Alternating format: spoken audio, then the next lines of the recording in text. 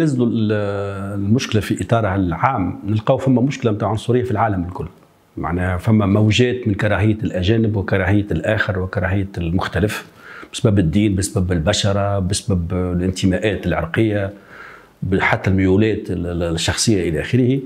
القيم الديمقراطية في العالم في حالة تراجع اللي كنا نعيشوه في السبعينات ولا في الستينات من قيم إنسانية نتاع ضيافة ونتاع اعتراف بالآخر في حالة تراجع كبير. المشكلة الحقيقية ظل في حالة تراجع أنه الدولة الاجتماعية نفسها القادرة على احتضان الوافدين على كل الدول هي في حالة تراجع. يعني أزمة الرأسمالية بصفة عامة بينت بالفعل أن نزعة الأنانية ونزعة المصلحة ونزعة الربح السريع آه، تخلي المجتمعات بصفة عامة لقمة سائغة عند اليمين. يعني الصراع الاجتماعي نزاح من صراع عنده بعد اجتماعي طبقي إلى بعد عرقي ولا بعد ثقافي وبعد ديني. بلادنا ما خرجتش على الإطار هذا. لكن بلادنا عندها خصوصية أنها في شمال إفريقيا. وأفريقيا جنوب الصحراء تشهد مشاكل كبيرة منذ عقود. مشاكل تنموية مشاكل فقر مشاكل مناخية انقلابات عسكرية حروب إلى آخره. فبطبيعة الحال رد فعل طبيعي للمهاجرين أنهم يتحركوا نحو الأماكن الآمنة. وبعد الجزائر بعد ليبيا باش نلقاو تونس. ما عندناش إحنا حدود مباشرة مع بلدان جنوب الصحراء ف وجود أعداد قليلة من فريق جنوب الصحراء في وقت الأوقات ما كانش يمثل مشكل. نذكرك أنه في وقت الأوقات في سنوات الألفين أقاموا في تونس آه، آه، موظفين أفارقة يخدموا في البات في البنك الأفريقي للتنمية في تونس العاصمة في حي الواحات والسكن في تونس العاصمة. تعرضوا للعنصرية لكن العنصريه ما كانتش عنيفة بالدرجة هذه. كلام في الشارع بعض بعض الإشارات لكن كانوا مندمجين في المجتمع اللي يعيشوا فيه وكانوا مندمجين اقتصاديا واجتماعيا. الموجة هذه موجة فيها فقراء فيها شباب فيها نساء. فيها ناس فروا بطبيعه الحال من من بلدانهم وقطنوا الأحياء الشعبية. المخيال المجتمعي بصفة عامة فيه بواكر عنصرية. بطبيعه الحال الغاء العنصرية في تونس في 1846 ما كانش عملية هينة. معناها عديد الناس رفضته الناس اللي كان عندهم عبيد وكان عندهم خدم رفضوا عتق العبيد. والرد الفعل الشعبي ما كانش متعاطف كبير برشا. حتى مع السود التوانسة هذا اكتشفناه حتى بعد الثورة التونسية. اذا هناك أرضية معادية للسود أو معادية للأفارقة لجنوب الصحراء في تونس.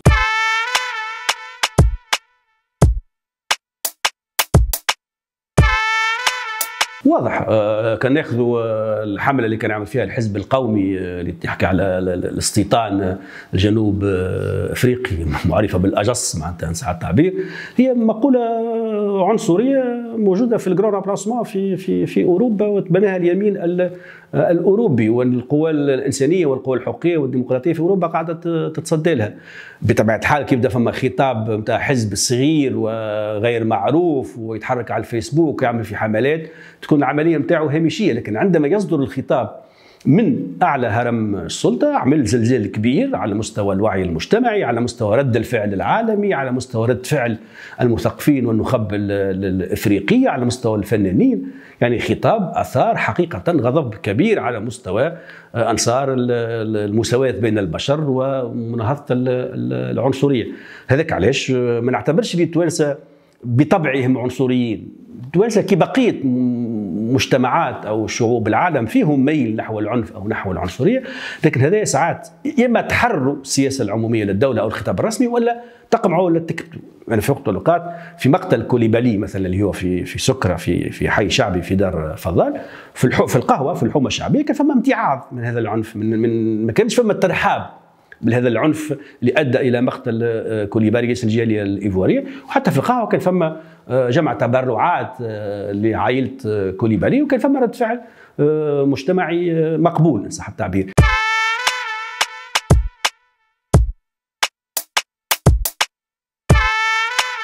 اولا العنصرية. العنصرية تجاه السود هي عنصرية تجاه لون بشرة ولون البشرة مرئي.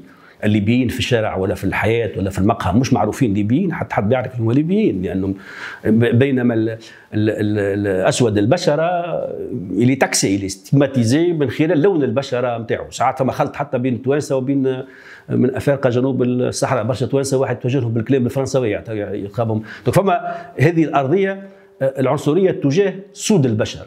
هذه موجودة كعنصرية قائمة الذات ومدانة بجميع المعايير لأنه العنصرية البيولوجية ولا العنصرية الثقافية ولا العنصرية العرقية ما عادش عندها حتى مشروعية لا علمية ولا قانونية ولا ثقافية.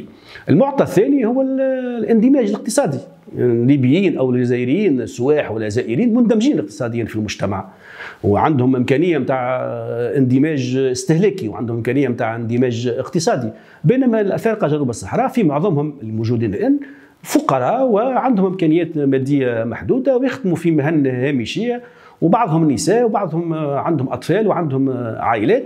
اذا هو هي كراهية للإفريقي الأسود الفقير معناها فما بعد اقتصادي آه، متعلق وبطبيعه الحال آه، مع الخطاب العالمي الكبير اللي يوسم الأفارقة بأنهم آه، بأنهم بين ظفرين برابرة ولا ولا وحوش ولا مرضى إلى آخره.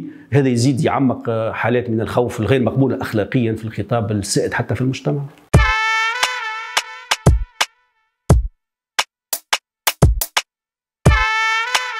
معناها مش غريب حالات الانفصام ولا حالات ال ال معناها ما نعتبرها حالات مرضية حالات السلوك الاجتماعي الأناني صح التعبير حالات السلوك الاجتماعي الفردي آه، آه، المتعلق فقط بالمصلحة الشخصية، إذا كان هو هاجر بطريقة غير قانونية ولا بطريقة غير نظامية وتعرض للاضطهاد في أوروبا باش يمشي للمنظمات الحقوقية، باش يمشي للكنيسة، باش يمشي للمنظمات الإنسانية، باش يعمل محامي كان عنده إمكانيات باش ياخذ حقوقه ولا ياخذ شهادة الإقامة نتاعه في البلدان الأوروبية، وربما هو بنفس الشيء من خلال الكلام ومن خلال السلوكات عنده سلوكات قبل ولا من بعد. تجاه الافارقه جنوب الصحراء. السلوك الفردي هو سلوك مدان يعني إذا كان هذا فردي. لكن فما التعامل السلوكي آه، اللي فيه معناها جروبال معناها اللي فيه اللي فيه تأييد الجماعة تأييد الناس اللي اللي تعيش معاهم. كي تعيش مع ناس الموجة العامة عنصرية فتلقى نفسك انتميدي باش تعبر على موقف غير عنصري. آه، الإحساس بالأقلية وأنت غير عنصري يخليك تسكت يخليك سلبي.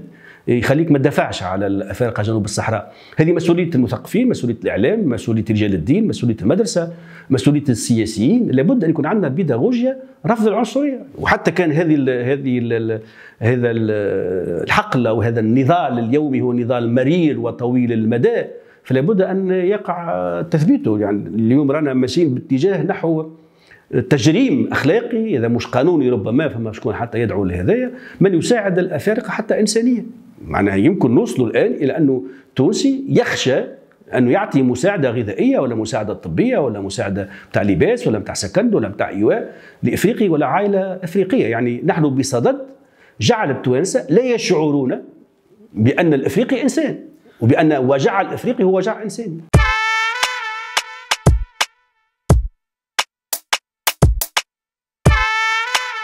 مش معطى ثابت هي هي هي سلوك. هي هي حالة تفكير. هي إيديولوجيا إيديولوجيا سائدة إيديولوجيا مهيمنة كبقية ايديولوجيات المهيمنة الأخرى في في المجتمع. آه، تحويلها وتفكيكها والنضال ضدها يطلب جهد كبير. كان فما 50 سنة 60 سنة التالي كان فما آه، رؤى ذكورية خطيرة في تونس تجاه المرأة. وكان فما رفض كبير ياسر للتعدد الفكري ولا حتى للتعدد الحريات الفردية. تحسنت شوية الأوضاع على مستوى الرأي العام الشعبي. هي معركة طويلة المدى فكريا سياسيا ثقافيا قانونيا إلى آخره لا يمكن التخلي عنها.